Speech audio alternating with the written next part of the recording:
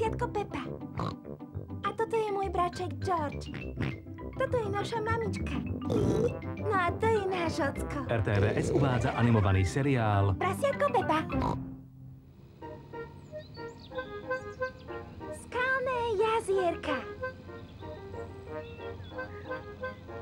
Pepa a George idú so Starkým a Starkou na pobrežie.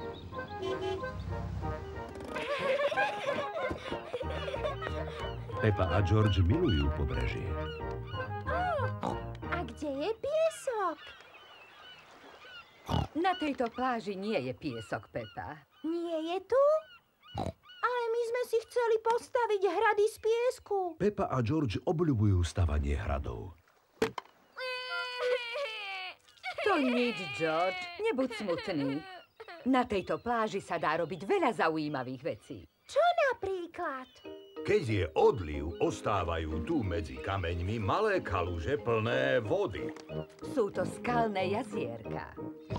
A v každom skalnom jazierku je niečo výnimočné, čo nám more vyplaví.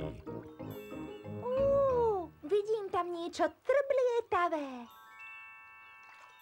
To je minca. Páni. Možno je to pirátsky poklad. Uú. Urobme si zbierku vecí, ktoré nájdeme. Áno, dáme ich do vedierka. Čo nás čaká v tomto jazierku? V tomto nie je nič výnimočné. Ho, ho, ho! Vždy nájdeš niečo výnimočné. Pozri sa lepšie. Uú, niečo tu je. Áno, to je... A, kráp! Au! Krab chytil Starkého za prst. Uú, Au! neposlušný pán krab. Pozri sa, George. Pán krab smiešne kráča.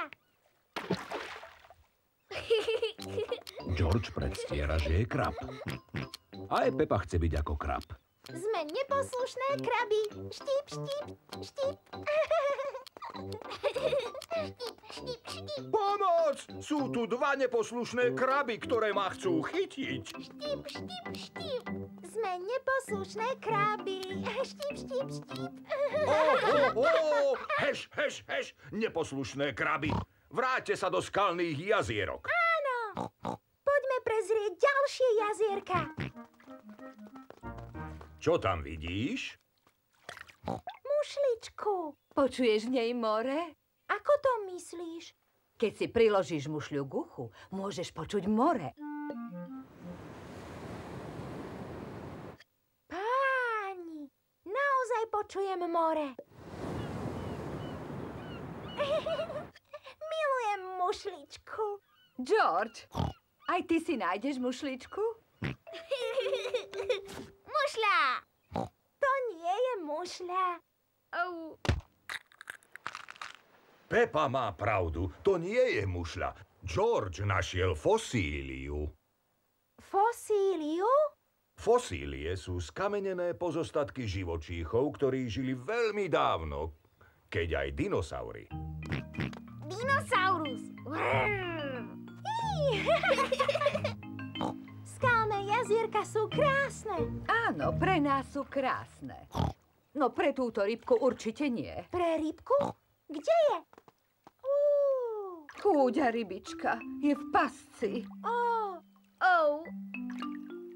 Rybka hovorí, že sa chce vrátiť naspäť do mora. Možno by si ju mohla pomocou vedierka zachrániť. Áno. Pepa zachraňuje rybku pomocou vedierka. Neboj sa, pani ryba. Čo skoro budete spriateľní. Ahoj,